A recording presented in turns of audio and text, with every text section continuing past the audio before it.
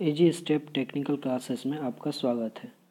तो दोस्तों, आज ऑब्जेक्टिव क्वेश्चन लेकर आए हैं आपके लिए, जो कि आईटीआई इलेक्ट्रिशियन के लिए बहुत ही इम्पोर्टेंट क्वेश्चन है।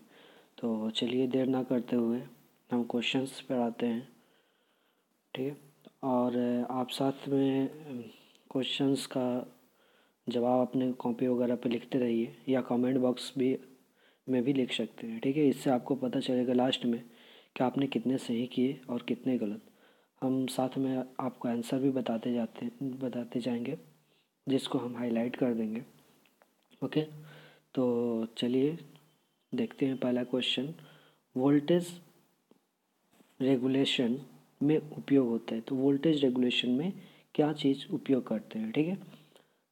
जेनर डायोड विवांतर फ्यूज रिले ऑप्शन ऑप्शन चार दिया हुआ है इसमें से। आपको एक ऑप्शन चूज़ करना है। तो आप अपना ऑप्शन लिख सकते हैं। ठीक है? इसका राइट आंसर ए होगा जेना डायोड ठीक है? नेक्स्ट क्वेश्चन ब्रिज दृष्टिकारी में कितने डायोड उपयोग किए जाते हैं? ब्रिज दृष्टिकारी को हम रेक्टिफायर बोलते हैं। ब्रिज रेक्टिफायर ठीक है? इसमें कितने डायोड यूज़ होता है? दोस्तों, इससे पहले मैं आपको बता दूँ कि ब्रिज रेक्टिफायर होता क्या है? ठीक है? रेक्टिफायर एक ऐसा सर्किट होता है इलेक्ट्रॉनिक सर्किट जिसको डायोड को यूज़ करके हम लोग बनाते हैं एसी को डीसी में चेंज करने के लिए। एसी मतलब बोले तो अल्टरनेटिंग करंट प्रत्यावर्ती धारा को डीसी डायरेक्ट करंट में चेंज करने के लिए हम लोग ब्रिज रेक्टिफायर यूज़ करते हैं, ठीक है? तो इसमें चार डायोड यूज़ होता है, ठीक है? नेक्स्ट क्वेश्चन पे आते हैं। क्वेश्चन नंबर थ्री है, द्वितीयक सेल क्या होता है? द्वितीयक सेल बोले तो सेकेंडरी सेल ठीक है?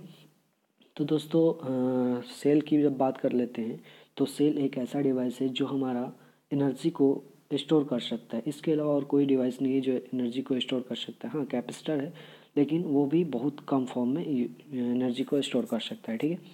तो सेल में जो एनर्जी स्टोर होती है, ये डीसी होता है, डीसी को ही हम स्टोर कर सकते हैं और इलेक्ट्रोकेमिकल फॉर्म में हम लोग यूज़ इसको स्टोर कर सकते हैं, केमिकल फॉर्म में, ओके?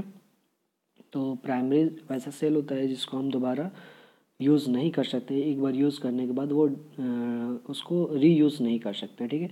लेकिन सेकेंडरी सेल को हम लोग रीयूज़ कर सकते थे। इसमें से Daniel cell lead acid cell mercury cell और लेकलांची सेल चार ऑप्शन आपका दिया हुआ है। जिसमें से आपका लेड एसिड सेल चार्जेबल होता है, जिसको हम लोग चार्ज कर सकते हैं और मरकरी लेकलांची और डेनियल को हम लोग दोबारा यूज़ नहीं करते हैं, ठीक है? नेक्स्ट क्वेश्चन पे चलते हैं तांबे। कॉपर कॉपर का गलनांक कितना हो मेल्टिंग पॉइंट होता है इसका। One zero eight six degree centigrade okay next question चलते हैं। क्वेश्चन नंबर फाइव है आपका। इनमें से अचालक पदार्थ है। अचालक बोले तो कुचालक। ठीक है? अचालक को हम लोग कुचालक या इंसुलेटर भी बोल सकते हैं। ठीक है? तो इंसुलेटर होता क्या है? आपको सबसे पहले ये जानना है। अगर आपको पता है तो वीडियो को पॉज कीजिए और कमेंट बॉक्स में लिखिए कि आप कुचालक किसे कहते हैं, ठीक है? कुचालक पदार्थ वो होता है जिसमें हम, जिसमें विद्युत धारा फ्लो नहीं कराई जा सकती है। कुचालक पदार्थ वो होता है जिसमें से विद्युत धारा को हम फ्लो नहीं करा सकते, उसमें फ्री इलेक्ट्रॉन्स की संख्या नहीं होती है। वेन डायग्राम जब हम देखेंगे तो उसके बीच में एनर्जी गैप ज़्यादा होती है more than six electron volt उसकी एनर्जी गैप होती है राइट तो इसमें से आपका राइट ऑप्शन अबरक माइका हो जाएगा, जो कि एक इंसुलेटिंग मटेरियल है, जबकि टीन, सीसा और पारा, ये तीनों कंडक्टिंग मटेरियल है। अच्छा दोस्तों, चालक की बात कर लेते हैं। चालक किसे कहते हैं? चालक जिसमें विद्युत धारा आसानी से फ्लो हो सके, उसे चालक कहते हैं, ठीक है? और उसमें फ्री इलेक्ट्रॉन्स की संख्या अधिक मात्रा में होती है। फॉर एग्ज़ाम्पल एग्ज़ाम्पल के लिए सोना, चांदी कॉपर एल्युमिनियम ये सब चालक के उदाहरण हैं। ठीक है? सबसे अच्छा चालक या उत्तम चालक आपका चांदी होता है, जिसको हम लोग सिल्वर बोलते हैं, और इसकी चालकता नाइन्टी एट परसेंट होती है, okay? Next question, soldering iron का एलिमेंट होता है। सोल्डिंग आयरन जो होता है, उसका एलिमेंट जो होता है, वो किस किस चीज़ से मिलकर बना होता है? दोस्तों, आपको पता होना चाहिए कि सोल्डिंग आयरन हम लोग यूज़ क्यों करते हैं? सोल्डिंग आयरन जब दो तार को जोड़ने की जोड़ने की ज़रूरत होती है, कच्चा जोड़ की ज़रूरत होती है तो सोल्डिंग की ज़रूरत पड़ती है।